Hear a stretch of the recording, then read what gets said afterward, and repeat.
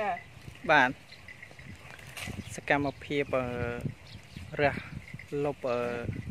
ក្របស្រូវព្រោះអត់មានអឺអត្រាឬក៏អតលេថងណាតេតេណាហ៊ានចុះរះទេមានតែណែជួលគោគេមករះដើម្បីលុបក្របស្រូវកុំឲ្យសัตว์ព្រៃវាចុះស៊ីក្របស្រូវណា នៅពេលដែលវាចុះស៊ីក្របស្រូវទៅវាធ្វើឲ្យស្រូវយើងហ្នឹងវាទំពេកមកកន្លែងមកកន្លែងវាវាដោះមកអត់ល្អពេលលុបចឹងទៅសัตว์វាមើលឃើញអេយកគ្រឿបនេះអត់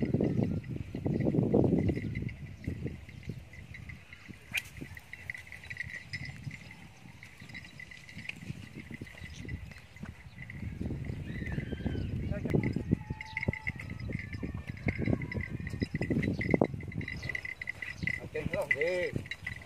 គិតពីមួយហើយអីនេះ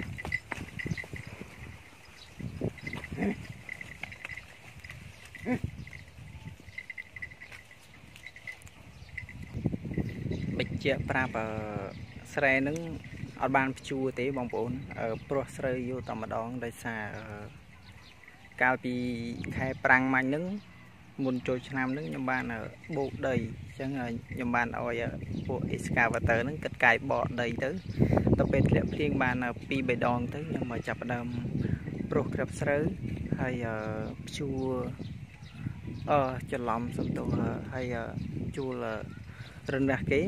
រះលុបបដោយ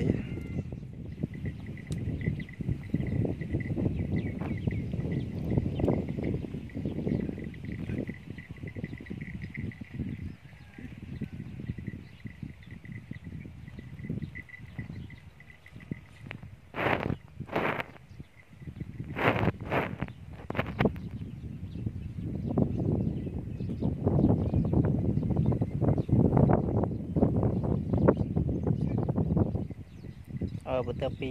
រះបានមួយចំនួនតូចហ្នឹងយើងមកមើលការប្រៀបធៀបក្របស្រូវមុនពេលព្រោះហើយនឹងក្រោយពេលរះអញ្ចឹងមកមើលតើគ្នា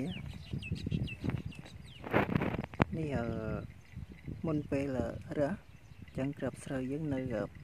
ផ្នែកខាងលើនៃផ្ទៃដីអញ្ចឹងយើងព្រោះវានៅក្បែរព្រៃអញ្ចឹង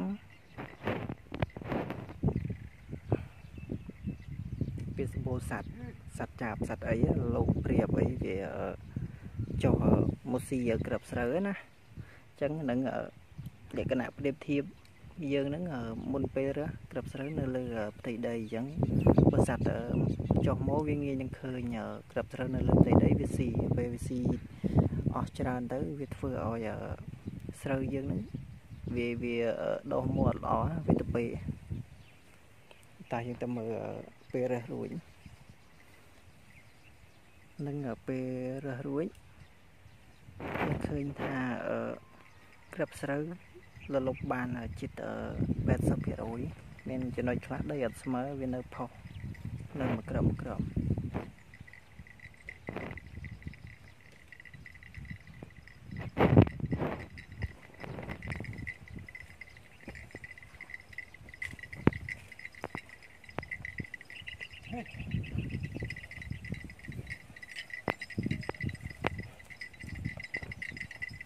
នេះសកម្មភាពតាគាត់រស់ជាមួយនឹងគោគាត់អត់អត់ឡើងតុំពីលើគាត់សុខចិត្តច្រកដីនឹងក្រុងក្រុងតូចមួយចង់ព្រោះដីរៀងធូរដែរពេលដាក់ដីក្នុងក្រុងប្រហែលជា4 10គីឡូហ្នឹងទៅវាសង្កត់ធ្វើឲ្យក្របដីតូចតូចហ្នឹងបែកបែកទៅធ្វើឲ្យអាក្របស្រូវយើងហ្នឹង លុបកប់ទៅក្នុងក្រឹបដីដែលបែកហ្នឹងឯង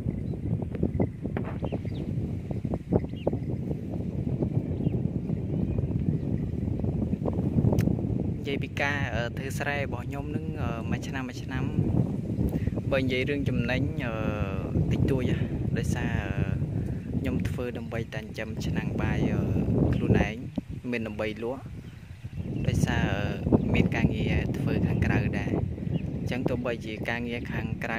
ខ្សត់ខ្សោយយ៉ាងណាក៏យើងបានអឺសល់បាយសល់អីដែរណាស្រូវដើម្បីអឺទុកធ្វើជាស្បៀងអាហារដែរដូចចំពេលឥឡូវហ្នឹងអឺអ្នកក្រុងមួយចំនួនគាត់ខ្វះថវិកាដើម្បីទិញស្បៀងអញ្ចឹង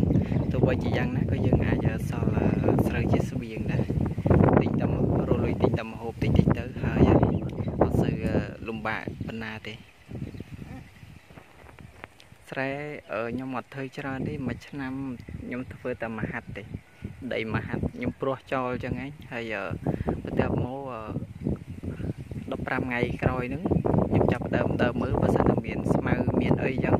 ខ្ញុំចាប់ផ្ដើមបាញ់អឺថ្នាំអឺសម្លាប់ស្មៅបើស្រូវហ្នឹងស្រូវអឺមិនមែនស្រូវរយៈពេលខ្លីទេរយៈពេលវែង6 8ខែនៅខាងស្រុកខ្ញុំមិនងាយធ្វើទេដោយសារវាអត់អំណោយផលណា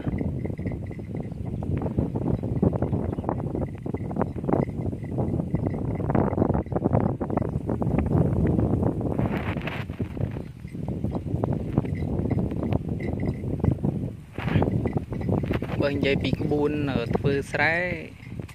មិនប្រកែប្រហែលទេធ្វើទៅតាមធម្មជាតិ ស្រែប្រវាស់មេយើងធ្វើអត់បខំយើងធ្វើបានប៉ុណ្ណាហូបប៉ុណ្ណឹងប៉ុន្តែបើនិយាយថាឲ្យរឿងខាតគឺអត់ខាតទេឧទាហរណ៍ថាអឺមហាត់នឹងខ្ញុំប្រមូលផលមកចប់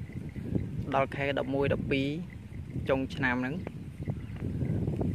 ឧទាហរណ៍ថាអស់1លានរៀលអញ្ចឹងមហាត់ណាអញ្ចឹង នៅពេលដែលទទួលបានផលមកបូកសរុបយើងគិតជាតម្លៃស្រូវអត់ដែលខាតទេចំណេញតិចតួចចំណេញបានត្រឹម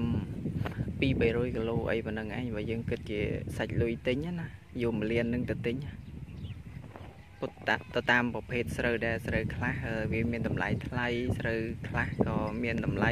ធូរថ្លៃហ្នឹង បើសិនតាយើងធ្វើស្រែតាមបច្ចេកទេសរបស់គេប្រហែលជា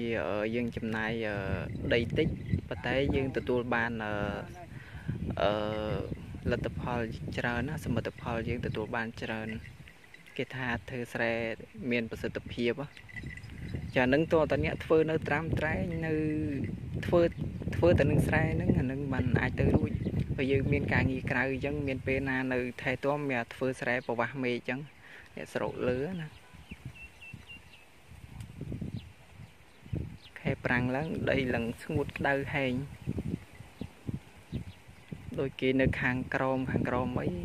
វាលក្រមឬក៏ខាងបារាយខាងអីអានឹងគេអាចធ្វើស្រូវ3ខែបានហើយគេធ្វើស្រូវដើម្បីលក់បដ ாய் ក្រុមគេអ្នកនៅខាងក្រមហ្នឹង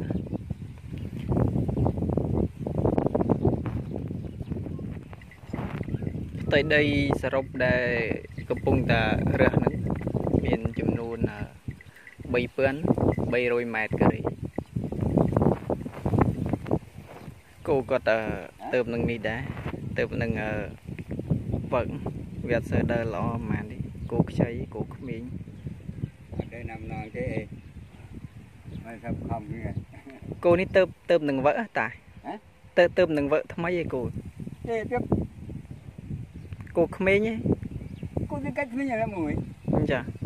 ចាទៅនឹងវឹកទៅយើងយកមករើសចេះវាពិបាកដែរទៅតឹងទៅតេងដែរអឺវាដើរអត់ស្រួលក្រៀងខ្លាយខ្លាយនេះដែរគ្រូអញហើយអញដែរយ៉ាគូទឹកបើបងមើលលងលងមានរយៈអីណាយើងមើលប្រៀបធៀបនឹងដីនឹងទៅដីខាងក្រោមក៏ទៅទីទួយ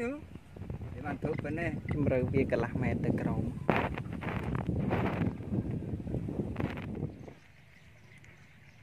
បាយបាយមួយអូនបាយបាយ